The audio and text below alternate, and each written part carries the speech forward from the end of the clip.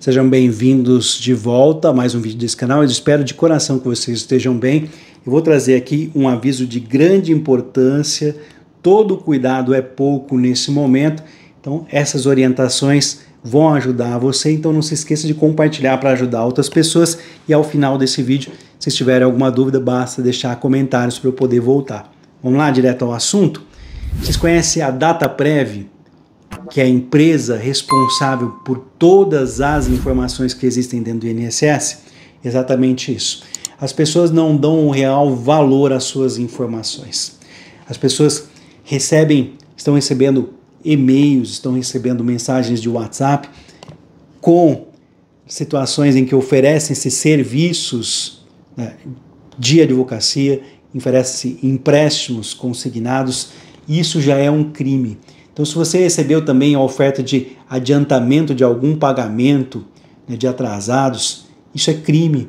Exatamente. Vocês estão sendo vítimas da violação da lei de proteção de dados. Qualquer contato que seja feito com você, seja por telefone ou aplicativos de mensagem, que não sejam do seu interesse, ou seja, você não tenha buscado isso, não seja do seu advogado, isso é crime. Bloqueie imediatamente esse número e até mesmo, se possível, desligue essa ligação. E se você tiver advogado, já entre em contato com o seu advogado, você pode estar sendo vítima de um crime. Por que eu estou falando isso? O Instituto Nacional de Seguro Social e a empresa de tecnologia e informação previdenciária DataPrev, eles foram condenados a indenizar uma aposentada moradora eh, de Juazeiro do Norte por vazamento ilegal de dados pessoais.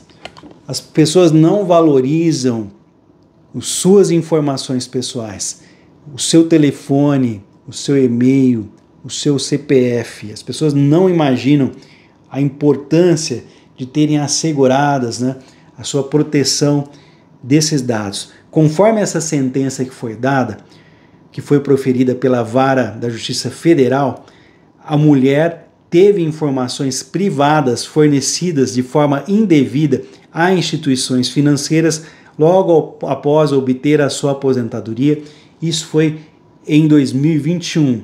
Desde então, ela passou a receber ligações diárias e constantes de bancos e correspondentes bancários para oferecer empréstimos consignados. Só lembrando aqui que você pode hoje estar bloqueando a questão de empréstimos consignados de forma mais fácil através do site ou aplicativo Meu INSS ou indo até uma agência do INSS pessoalmente para estar tá bloqueando isso. E mais, a proteção dos aposentados e pensionistas é tão grande que é proibido qualquer contrato desses serviços através de ligação telefônica.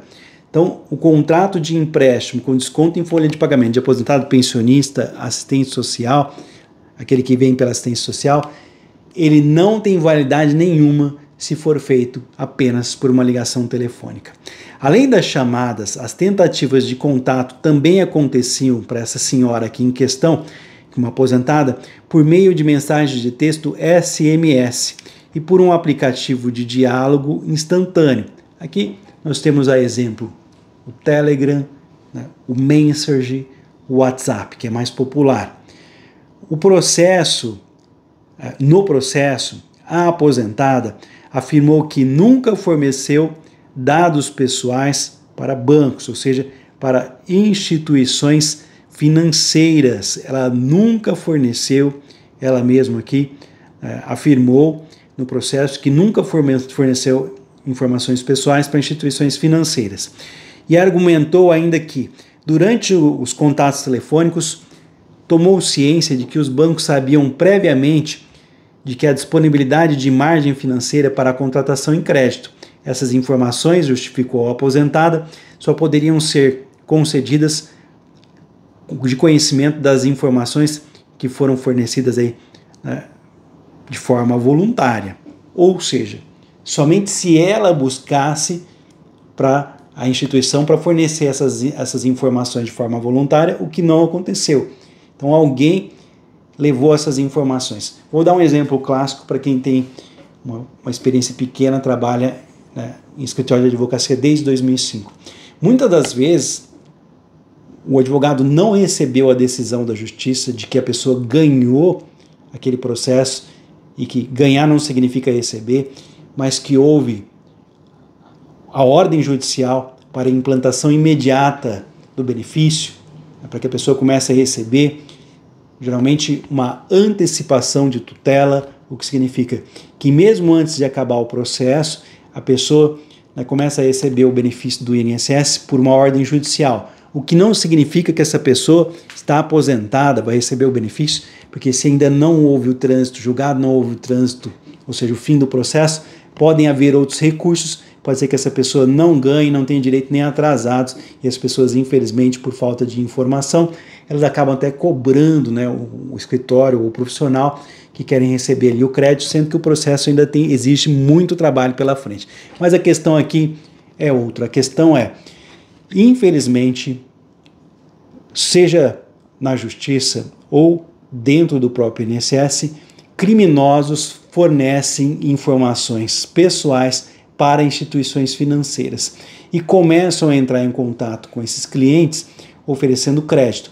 Consequentemente, os advogados, os profissionais começam a receber ligações dos seus clientes cobrando um movimento do seu processo. Só que tem um detalhe: aquela decisão da justiça só tem validade a partir do momento que ela é publicada no Diário Oficial da União. Então ela só se torna oficial quando o advogado recebe essa informação direto da justiça. Então muitas das vezes nós não recebemos a informação que já consta de instituições financeiras ou seja, de uma forma criminosa, eles compram essas informações pessoais, sendo que nem o advogado do processo foi avisado de forma oficial de que aquele, programa, aquele pagamento será efetuado. Resumindo, a pessoa nem recebeu o dinheiro ainda, nem recebeu a carta do INSS, o advogado nem foi avisado de que haverá o crédito e os bancos já estão cobrando.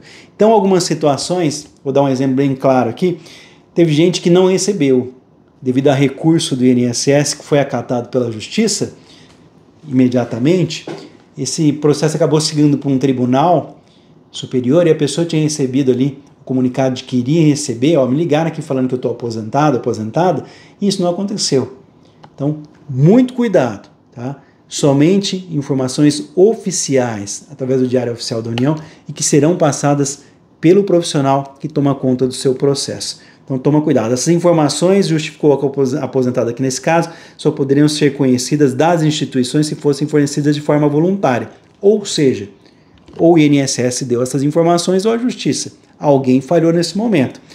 Na sentença, o juiz apontou que existem indícios e provas suficientes de que as informações, ou seja, os dados foram vazados de forma indevida. No caso em questão, resta claro que os réus, o INSS e a Data Prévia, empresa responsável por todas as informações do INSS, dispunham dos dados pessoais da autora aposentada e que o vazamento de tais dados deu por ação dos demandantes, o INSS e Data Prévia. Com efeito, não se observou a segurança que qualquer cidadão esperaria ao buscar a concessão de um benefício previdenciário concluiu o juiz. Agora imagina só, você que pensa que está seguro pelo INSS, o INSS está vendendo as suas informações. Uma situação que poderia ser bem pior, porque o governo anterior queria privatizar a data prévia, ou seja, jogar na mão da iniciativa privada todas as informações dos brasileiros. A decisão desse processo foi proferida com base na Lei Geral de Proteção de Dados Pessoais, a LGPD, que está em vigor desde 2018. É importante destacar que um elemento essencial da LGPD é o consentir, ou seja, o consentimento do cidadão é a base para os dados pessoais para que possam ser tratados, ressaltou aqui o juiz nessa decisão. Pelo vazamento ilegal das informações dessa aposentada, o INSS e a DataPrev foram multados 5 mil reais, exatamente foram multados em 5 mil reais a título de indenização por danos morais à aposentada. Além disso, o juiz determinou que os órgãos inter, né, interrompam imediatamente o fornecimento de dados pessoais da mulher e, da, e, as, e a empresa aí, ou pessoas físicas sem o devido consentimento. A decisão cabe recurso, é claro. Então fique atento, fique atenta aí, porque infelizmente as suas informações estão sendo tratadas como moeda nesse momento. Todas as suas informações pessoais estão sendo vazadas. O INSS ele se protege dizendo que não faz esse tipo de função, mas vocês estão vendo aqui essa prova, tá? O INSS é data prévia, condenados a indenizar a aposentada por dados vazados. Essa situação se deu aqui em 2023 de uma ação resultada lá de 2021, em que a pessoa começou a receber várias ligações telefônicas e teve também mensagens SMS oferecendo empréstimos logo após ela ter sido aposentada. Então, muito cuidado. Situação muito comum também pessoas que estão prestes a receber dinheiro da justiça começam a receber uma série de ofertas de antecipação de dinheiro. Isso não existe. Como alguém vai antecipar um crédito para você sem que você tenha prejuízo? Na é verdade?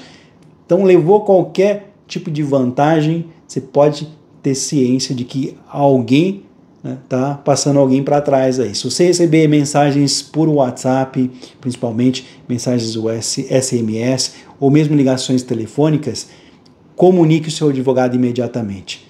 Você está sendo vítima de golpes, você está sendo vítima de, principalmente de criminosos que estão aqui. É a lei de 2018, Lei Geral de Proteção de Dados, que garante que você tenha as suas informações asseguradas, a não ser que você forneça essas informações. Então, muito cuidado, fica aqui a dica para vocês, está gerando até indenização. Esse aviso é de grande importância, todo cuidado é pouco nesse momento em que as pessoas, infelizmente, estão tendo acesso às nossas informações e daqueles que deveriam estar protegendo as nossas informações, as instituições, instituições públicas, as instituições do governo. Nem são instituições aí uh, privadas. O próprio governo, infelizmente, tem pessoas de mau caráter que vendem as nossas informações. Então, cuidado.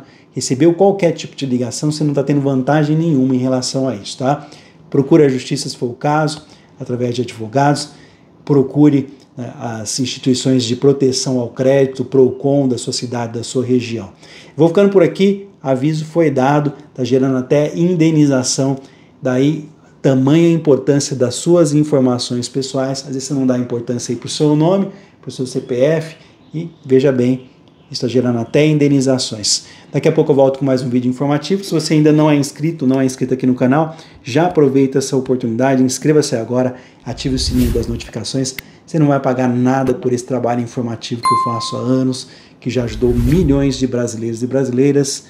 Fiquem com Deus, um forte abraço não esqueçam de compartilhar o vídeo no seu Facebook, na sua lista de amigos do Telegram, na sua lista de amigos do WhatsApp, para que essa informação possa chegar para outras pessoas que não tenham esse conhecimento e elas possam se utilizar disso da melhor forma possível. Eu conto sempre com a ajuda de vocês, eu espero ter ajudado. Até o próximo vídeo, se Deus quiser.